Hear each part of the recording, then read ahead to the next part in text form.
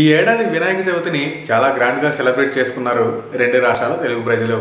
పర్యావరణానికి మేలు చేసేలా మట్టి విగ్రహాలు రకరకాల వినాయకుడి విగ్రహాలతో కొత్త సందడితో రెట్టించిన ఉత్సాహంతో ఈ ఏడాది గణేష్ పండుగ గల్లీ గల్లీల్లో ఘనంగా చేసుకున్నారు.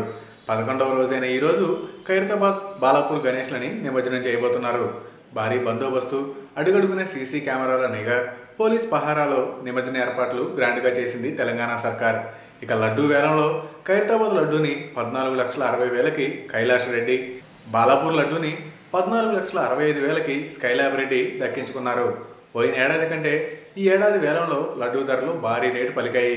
పలు ప్రాంతాల నుండి గణేష్ని చివరిసారి దర్శించుకునేందుకు భారీ సంఖ్యలో భక్తులు తరలివస్తున్నారు. గణేష్ నామస్మరణతో ట్యాంక్ బండ్ పరిసర ప్రాంతాలు హోరెత్తుతున్నాయి.